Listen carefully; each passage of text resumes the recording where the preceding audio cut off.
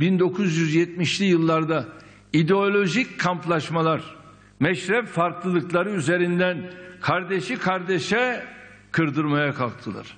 Aynı şekilde 1990'lı yıllarda aynı oyunu kökenler üzerinden tekrar sahneye sürdüler. Bu arada ekonomiyi de hiç boş bırakmadılar. Sadece birkaç milyar dolarlık bir spekülasyonla üstelik de dünyada bunu tetikleyecek herhangi bir gelişme yokken 1994 yılında ülkemizi büyük bir krize sürüklediler.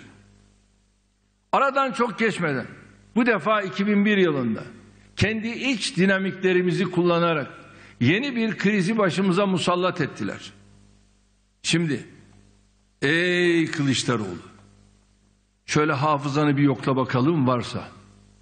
Gecelik faizlerin yüzde yedi bin beş yüze çıktığı 20 bankaya el konup milyarlarca dolarlık zararın tamamının millete fatura edildiği bu dönemin baş aktörleri şimdi bize karşı kampanya yürüten CHP yöneticileriydi.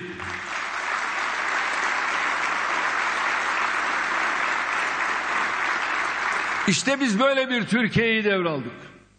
Ülkede güven ve istikrar iklimini tesis ederek tarihimizin en büyük demokrasi ve kalkınma hamlesini başlattık. Bu tarihi hamleye yönelik kriz tehditleri de hiç eksik olmadı. Kasım 2002'den beri neler görmedik, neler yaşamadık ki.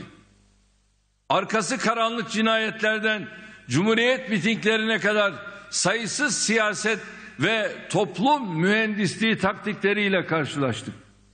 Partimize yönelik kapatma davasından gece yarısı bildirilerine bütün bunlara kadar pek çok haksız, hukuksuz, çirkin tezgaha maruz kaldık. Şimdi de çıkmış bir ahlaksız, bir edepsiz, benim akıbetimin de Menderes'in akıbeti gibi olacağını, olabileceğini ümit ettiğini söylüyor. Ve ahlaksız ve edepsiz. Biz bu yola çıkarken kefenimizi giyerek bu yola çıktık.